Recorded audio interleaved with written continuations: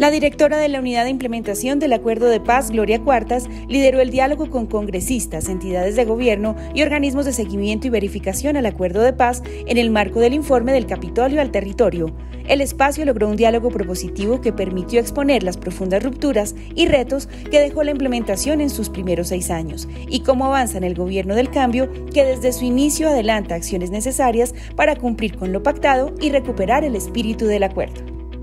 lo que ha significado, de acuerdo al informe que hoy nos convoca, que es el informe preparado eh, desde el Capitolio al territorio, poder tener a la vez eh, reflexiones con los demás informes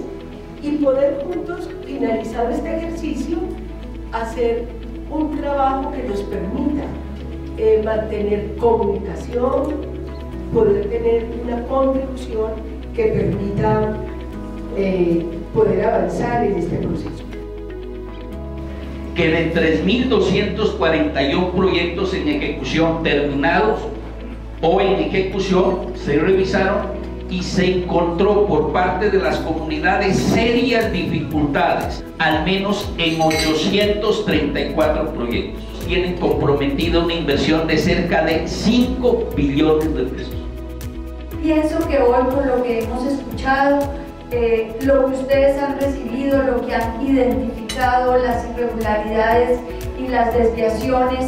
que han eh, eh, identificado sobre esa implementación están bajo su liderazgo y las direcciones de cada uno de los ministerios y entidades en un proceso de redireccionamiento y retoma de esas metas importantísimas que se deben cumplir y eso es esperanzador. Colombia, potencia de la vida.